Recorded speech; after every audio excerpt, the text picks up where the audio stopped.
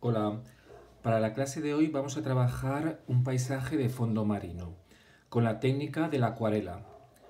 Para ello vamos a necesitar un lote de, de colores de acuarelas, tres pinceles blandos, uno fino, uno medio y uno más grueso. Y finalmente un poco de sal. Aquí está. Para ello lo primero que vamos a hacer es el fondo de la imagen. Podemos hacerlo de dos maneras.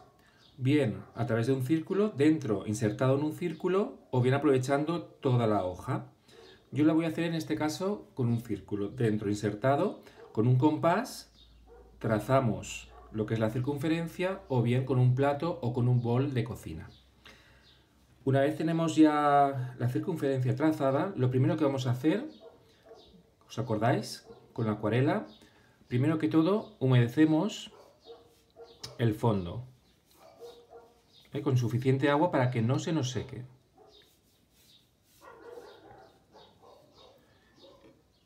Cuando esté terminado, iremos aplicando poco a poco el color. Podemos elegir los colores que queramos, pero hay que tener en cuenta una cosa.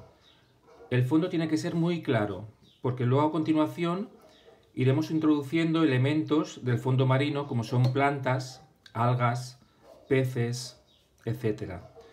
Entonces queremos que destaquen estos elementos sobre el fondo. Entonces, ahora que está húmedo, cogemos varios colores, entre dos, dos máximo tres colores. Yo he cogido un poco de ocre, ¿vale? Manchado, manchando, disfrutando. Aquí estamos, seguimos. Un poco más de ocre.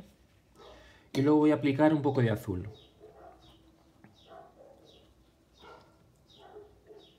Ahí está. Tenemos azul claro, azul más oscuro, vamos jugando. Para ello primero hay que hacer pruebas más pequeños, ¿eh? en papel pequeño. No vayamos directamente a hacerlo en A3 porque requiere un poco de práctica. Mirad, como poco a poco la hoja se va arrugando ligeramente así y también va creando sus efectos. La hoja, como os comenté en la clase anterior, es conveniente que tenga 300 gramos de grosor, porque de lo contrario se puede arrugar excesivamente. Y ahora un poco de verde, unos toques de verde, y aquí está. Mirad, más o menos este va a ser el fondo. A continuación aplicamos la sal. Sal gruesa si puede ser. Yo no tengo. Yo la voy a aplicar fina porque es la que tengo ahora en casa. Pero es mejor mm, sal gruesa. La sal, como dije en la clase anterior, eh, absorbe el agua y crea, unos efectos pues, de texturas que para fondos marinos es súper interesante. ¿De acuerdo? No hay que poner tampoco excesiva sal. Con esta cantidad que he puesto es suficiente. Poco a poco se va a ir secando y va a ir reaccionando. De acuerdo, una vez tenemos esto, vamos dejando que seque y pasamos al siguiente ejercicio, que es trabajar las plantas del fondo marino y los peces. Para ello, cogemos el pincel, yo en este caso el grueso, pero podéis coger vosotros el pincel mediano. Y mirad lo que hago. Aplico el pincel presiono el pincel y voy soltándolo. Vuelvo a coger, presiono y suelto. Y mira qué bonito queda. Es interesante que las primeras plantas sean muy claras. ¿Por qué? Porque como comenté, la acuarela eh, se van superponiendo eh, diferentes capas una encima de otra.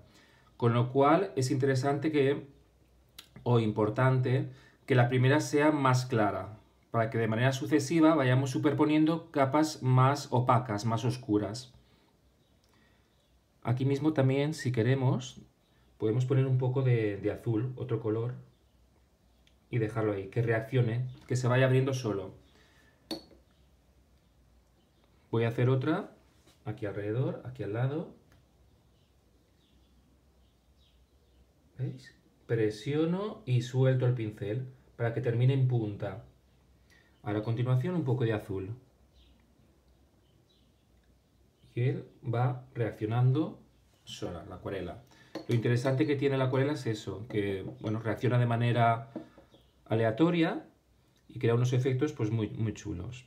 La siguiente planta que vamos a hacer, voy a cambiar el pincel, voy a coger un pincel medio.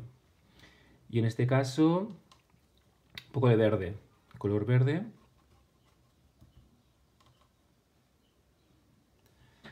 Y aquí lo que hacemos es lo siguiente. Una rama fina y a continuación vuelvo a coger un poco de acuarela y hacemos hojas del centro hacia afuera, del centro hacia afuera. Vuelvo a coger un poco más y así sucesivamente hasta arriba. Cada vez más pequeños, más cortas las hojas. Ahora lo mismo en sentido contrario.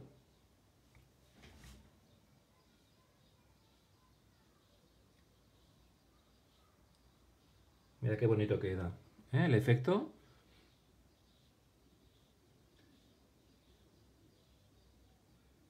Y así. ¿De acuerdo? Esta hoja también, este tipo de hoja es muy bonita y bueno, podéis practicarla en casa las veces que queráis.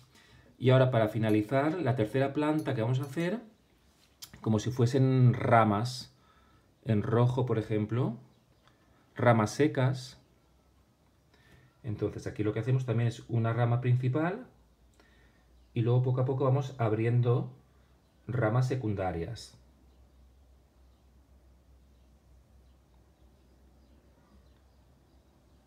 ¿Eh? ¿Veis cómo va? Se va abriendo los colores. Luego le puedo poner un poco de ocre si quiero, si es demasiado oscuro.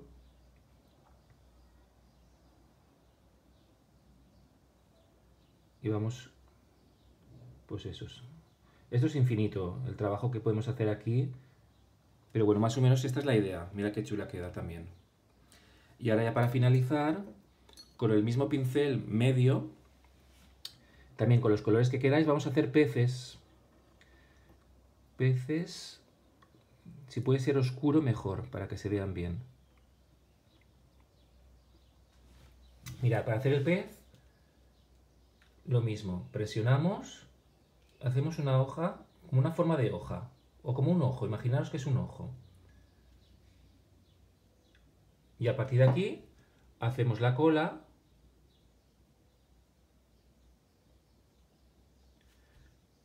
y las aletas por arriba y por abajo.